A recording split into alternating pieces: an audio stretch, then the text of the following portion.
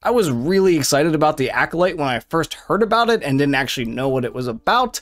And then the first two episodes came out and I watched those and I was like, yeah, that was a bit rough, but you know, let's give it another another week and see how it goes.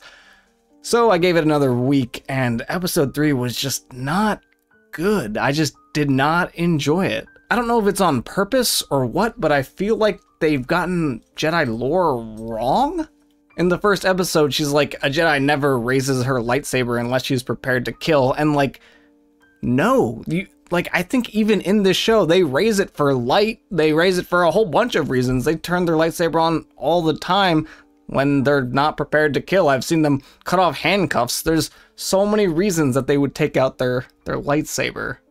A Jedi doesn't pull her weapon unless prepared to kill. Hold on. Back away. Where's Mae? Step away from the body. Even when actively fighting, I think there are still plenty of times where they are trying to de-escalate the conflict and not trying to kill the other person. And the Jedi just going around looking to tell people they can't train children in the Force feels weird to me. And also, like, they wouldn't take that kid into the Jedi Order because she was so freaking old by the time that they found out she had a Force ability not only old, but has a ton of trauma now, which seems like the biggest red flag I've ever seen about bringing someone into the Order. At least Anakin didn't have his whole family murdered in front of him when he was taken into the Order. The Mother Witch says that you can't manipulate the Force, but then immediately manipulates the Force after that. Some call it a force and claim to use it. But we know the threat is not a power you wield.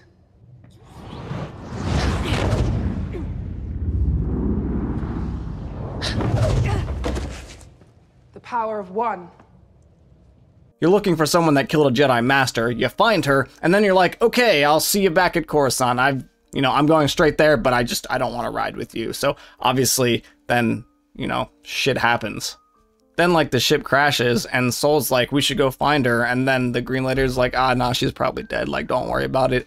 You know, I, I need you for kindergarten class because that's definitely more important than finding someone that killed a Jedi Master. Any sign of life on Carlac? The Republic dispatched probe droids to survey the wreckage.